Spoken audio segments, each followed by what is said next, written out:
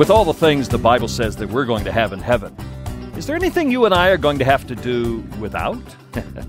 well, absolutely, and that's what we're going to talk about today on Back to the Bible. I'm Woodrow Kroll along with Tammy Weisert. We have some very special friends in our studio today who are part of our daily Bible study, and I'm glad that you've joined us as well for today. Now, we're nearing the end of our personal Bible study in the book of Revelation. Just a couple of days left, Tammy. We've been at this, uh, what, eight weeks now. And it's time to uh, just stick with it a couple more days so we can wrap up this series on a positive note today and tomorrow, talking about what God has in our future. Now, today, Tammy, I want to talk about the things we have to do without in heaven. I know that sounds a little strange because a lot of people define heaven as having everything you want. But the Bible doesn't say we have everything we want. In fact, it doesn't say we have everything. There are some things we have to do without in heaven.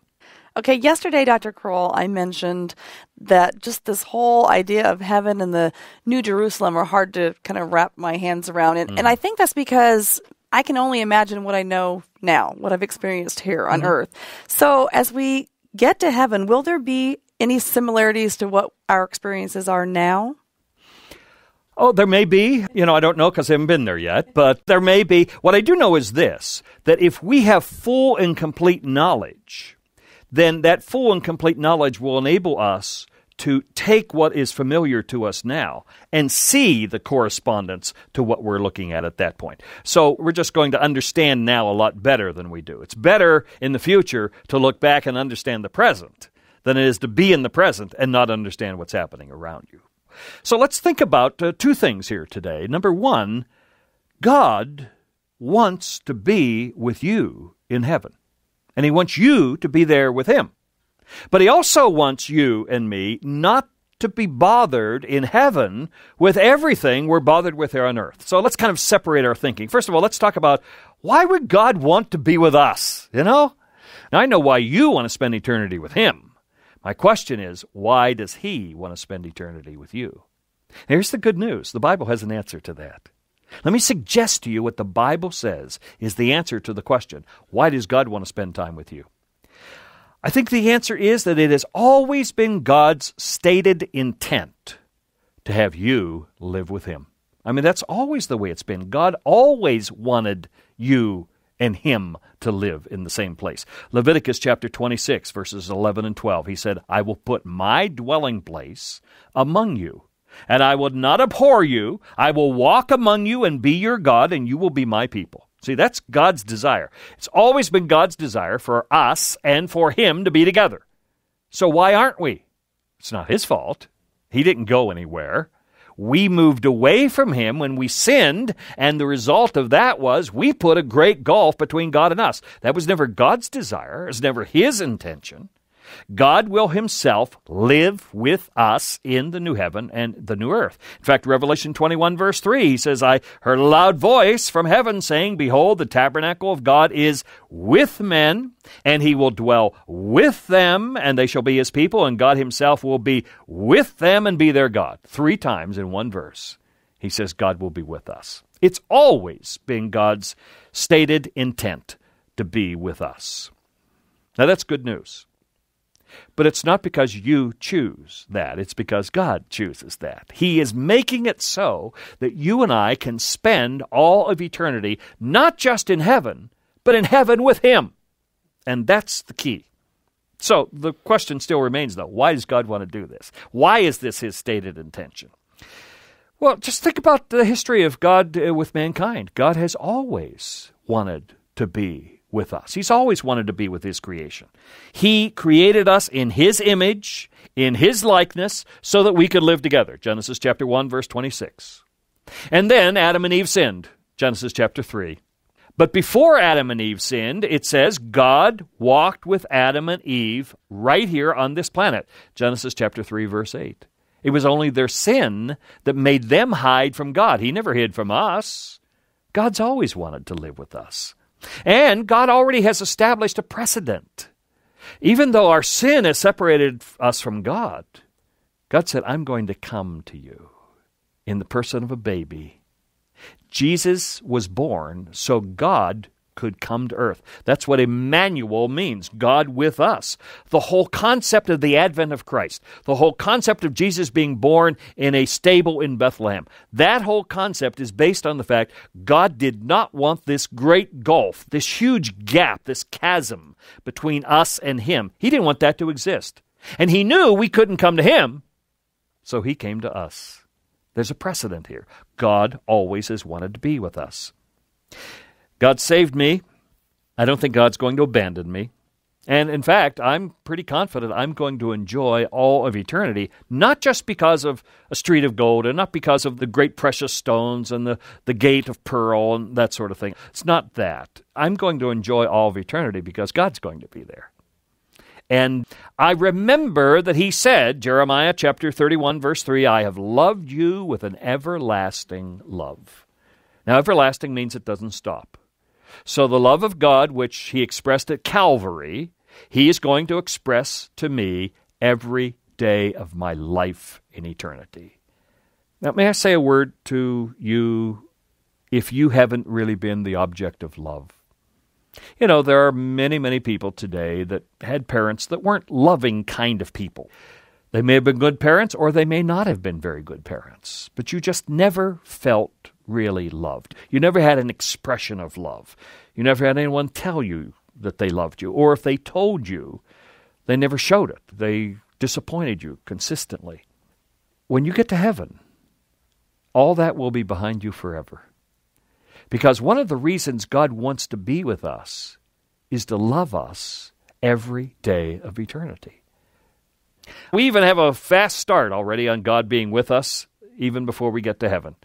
Because he sent his Son to be with us, to die for us, his Holy Spirit to dwell in us, and the day will come when you and I, God the Father, God the Son, God the Holy Spirit, and everyone who has ever believed in God and came to him in faith trusting his promises, going to feel the presence of a loving God. So, why does God want to spend time with you? I think God wants to spend time with you for one reason and only one. That's because he loves you. I love spending time with my grandchildren. Now, I probably love spending time with them more than they love spending time with me. You know, if they would let me, I'd hold them in my arms. Now, they won't let me, but uh, if they would, I'd hold them in my arms. Why? not because of what they can do for me, but because of how I feel about them. It's not what you can do for God in heaven that's important. What can you do for God? Nothing. It's the fact that He loves you so dearly, He wants to be with you. Now, listen to this. Let me quote several people that you probably will recognize their names. John Milton, the author of Paradise Lost, he put it this way Thy presence, he says, talking about God, thy presence makes our paradise, and where thou art is heaven. In other words, heaven is wherever God is. Now, God is in a place, so there is a place called heaven. Samuel Rutherford said this Oh, my Lord Jesus Christ, if I could be in heaven without thee, it would be a hell. And if I could be in hell and still have thee, it would be a heaven to me for thou art all the heaven I want. I like that. Heaven is heaven because God is there. And Martin Luther said it this way I had rather be in hell with Christ than be in heaven without him.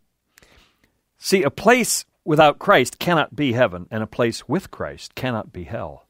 And that's what all these people are saying. Jonathan Edwards, in one of his great sermons, 1733, that's a long time ago, 1733, Jonathan Edwards said this God is the highest good of the reasonable creature, and the enjoyment of Him is the only happiness with which our souls can be satisfied.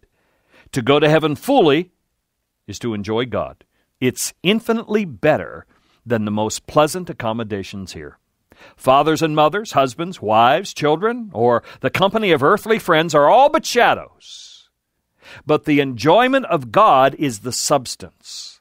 These are but scattered beams, but God is the sun. These are but streams, but God is the fountain. These are but drops, but God is the ocean. Now that's why God wants to spend time with us. We can never be fulfilled in heaven without Him. If heaven is where God is, and that's true, then hell is where God is not. And that's true. You know what it is that makes hell hell? It's the absence of God. It's the absence of the meaningful presence of God. You know what it is that makes heaven heaven? The meaningful presence of God. The difference is not location, the difference is not temperature, and the difference is not precious metals.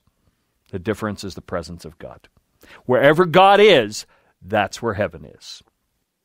When you're saying we have to do without, that implies that there will be things there for us to do. And sometimes looking back, I've had this vision of heaven of we're going to be doing nothing but praising and worshiping God. You've joked before about how people have this idea of heaven that they're going to be floating on cl- clouds and eating uh, chocolate, yeah. you know, playing their harp. Yes, you know. things like that. And so apparently it's not going to be that way. No, it isn't. Uh, there's going to be lots to do in heaven. Remember, part of our heavenly experience is our relationship to God. I mean, it's nothing like our worship here. It is going to be sincere and real and absolutely tremendous worship. There'll be great singing in heaven. There are too many images of, of the angels or others singing in heaven for us not to believe we would not sing in heaven. But we'll also have administrative responsibility in heaven. Uh, we will have responsibility that Jesus gives us. It's a part of our reward. I think we'll do a lot of traveling while we're in heaven. For those of you who've always wanted to travel and never could afford it, hey, it's going to be free then. Go wherever you want to, you know? So heaven is not a place where you sit around and wonder, why am I spending all my time here? There will be something fresh and new for us all the time because God is always fresh and new. And He's going to make sure we have all those things that will make heaven heaven. Well, I'll be back in just a minute. We want to talk a little bit about what you and I have to do without in heaven. If God makes heaven heaven, what is it that He keeps from us that makes it good too? We'll talk about that in just a minute.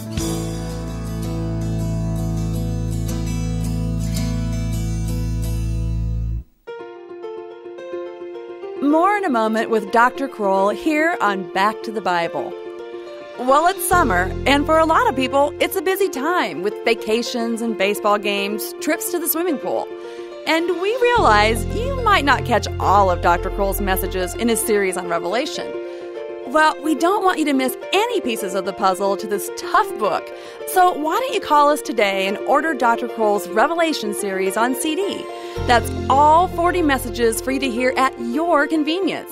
You'll get 8 weeks worth of messages on 16 CDs for just 35 bucks. That is 17 hours worth of teaching time. And the great news is you'll have all the pieces to the Revelation puzzle in one place.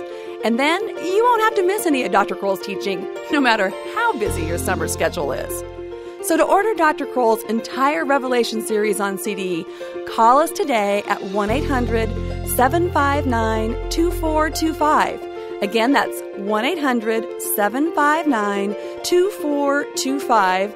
Or you can write to us at Back to the Bible, Box 82808, Lincoln, Nebraska 68501.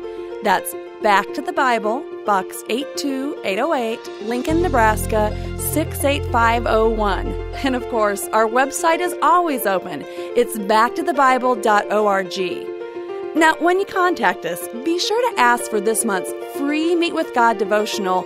It's called The Future in God's Hands. It's a great short guide full of insights into the book of Revelation. Now, let's go back to Wood.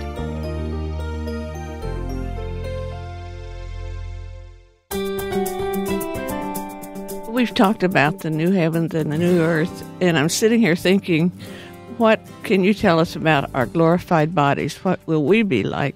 The one thing I know about the glorified body is it doesn't die, it doesn't decay, it doesn't hurt, it doesn't need showers and deodorant, it doesn't need to brush its teeth, you know, it just we'll never need a haircut. You take all the things that sin brings to the body today that you don't like and I related some of those things.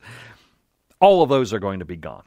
Our bodies are going to be the kind of body where we can be wherever we need to be. Again, I don't think traveling to distant points in the universe is going to be a prolonged process. I think we'll be able to move freely throughout the universe.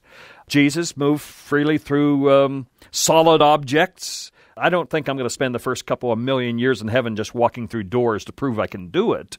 That'll get old in a hurry. But I probably can do it, you know. So what is described for us in 1 Corinthians 15 is that we have a glorified body that is like Jesus' body and that is not hindered by any of the things that hinder our bodies today. And one of the things we're going to have to do without in heaven are all the things we don't like about what's wrong with our body today. Well, let's think about the things we have to do without in heaven. I know most people think of heaven as having everything. But there are things are not going to be in heaven. Look at uh, chapter 21 again, verse 1. I saw a new heaven and a new earth, for the first heaven and the first earth had passed away. So the first thing you have to do without is today's heaven and today's earth. But we have a better one. Why would we want this one? Secondly, he says, also there's no more sea. Isn't that interesting? The sea is the place where marine life lives. It's a place where you go fishing, you go sailing, but it also keeps people apart, doesn't it? None of you here in the United States have ever driven to Europe. And you never will until you get to heaven. Now, you may not need a car at that point, but he says the sea is gone. That which separates us will not separate us anymore in heaven. But what I really want you to see is verse 4. This is one of my favorite verses in all of the book of Revelation. And God will wipe away every tear from their eyes. There shall be no more death, nor sorrow, nor crying. There shall be no more pain for the former things have passed away. Now, there's a list you can live with. No more crying, no more reason to cry. No more disappointment, so there's no more crying. No more death, you're in a glorified body, no more death. He's going to wipe away all the tears, there'll be no more tears. Even the possibility of death will be gone. You won't fall ill in heaven, you won't trip and stumble and stub your toe and and die as a result in heaven. None of that is a possibility. God is even going to eliminate sorrow in heaven. There won't be anything for you to be sad about. In fact, Isaac Watts writes joyfully in his Joy to the World No more let sins and sorrows grow. So, if there's no sin in heaven, there's no sorrow, which is the natural accompaniment to sin. And then he says God's presence is going to eradicate all pain. Now, just think about this. How many prescriptions you have right now, how many over the counter pain relief medicines you have right now that one day you can kiss goodbye forever because there'll be no more pain. I can hardly wait. Notice in chapter 21, verse 22, it says, But I saw no temple in heaven, for the Lord God Almighty and the Lamb are its temple. Now, we don't need a house of worship today. It's good to have one because it's a place where people can gather. But in heaven, we have immediate and constant access to the Father. Why would we need a temple? So there's no temple in heaven.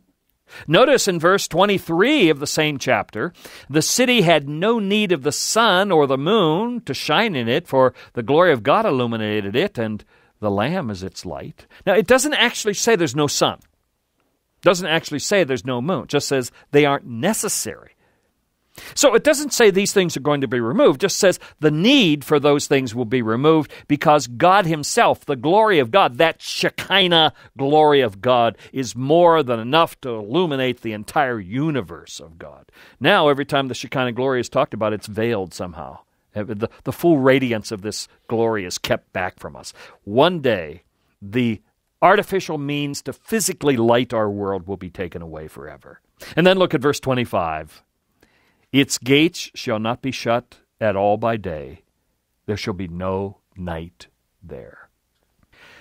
Now, when he says again, there shall be no night there, I think it means that the things that night brings to us will be gone forever. Night brings the need for sleep, night brings sometimes terror, Night brings concern. If you're living all alone, the hardest point in your 24 hour day is the nighttime. There will be no night there. Now, it does talk about the glory of God and the light of the sun not necessary. It also talks about the gates not being shut during the day, and since there's no night there, there's no terror as associated with night, there's no reason for the gates ever to be shut. So there are lots of things about this heaven that we're going to have to do without. I mean, just put these on the sticky side of your mind as we go today. When you get to heaven, you're going to have to do without crying. When you get to heaven, you're going to have to do without pain. When you get to heaven, you're going to have to do without sorrow. When you get to heaven, you're going to have to do without death. You know what? I think I can do this. Given a little time to think about it, I think I can handle all that.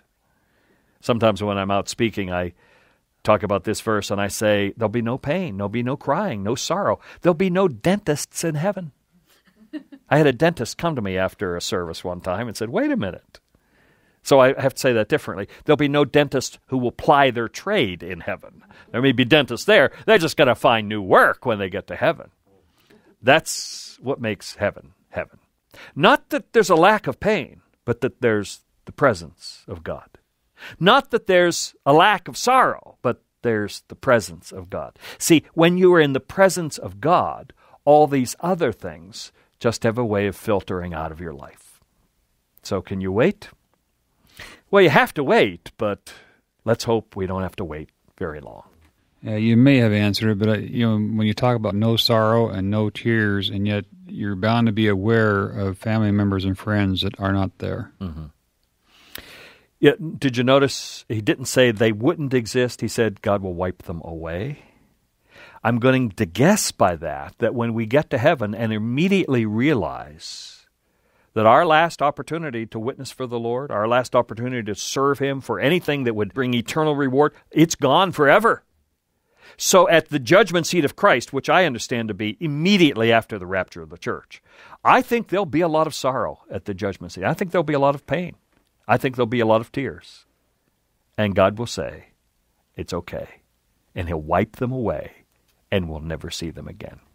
So the thoughts that would bring to us sorrow and pain and tears are thoughts that will be removed from us when the guilt of what we may or may not have done is also removed from us at the judgment seat of Christ.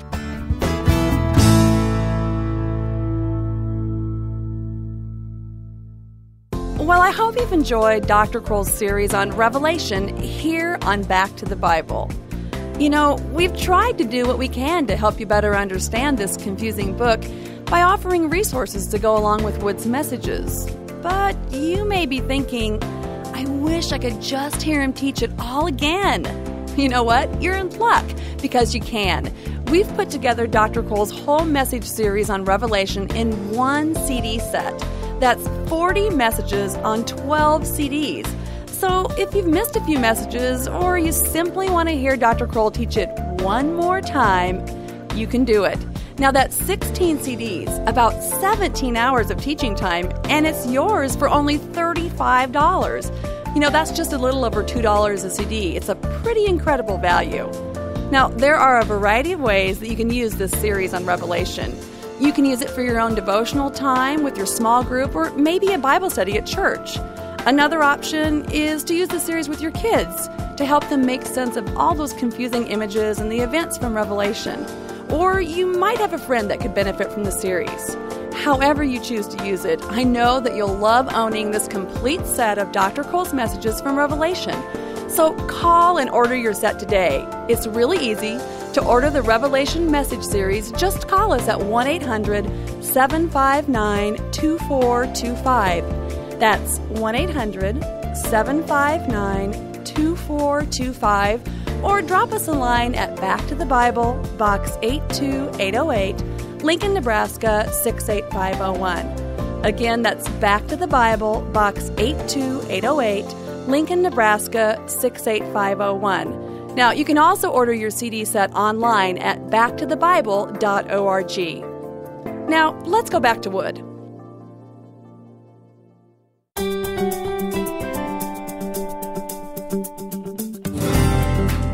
Well, we have spent now uh, almost eight weeks in studying the book of Revelation, and tomorrow we come to the final message of the Bible, the final message of this book and it's a call from God for you to come to Him. I think it's a tender passage, and I think you're going to enjoy the final study of the book of Revelation. That's tomorrow, right here on Back to the Bible. Plan now to join me, won't you? Thanks for being here today. God bless you. I'm Woodrow Kroll. Have a good and godly day.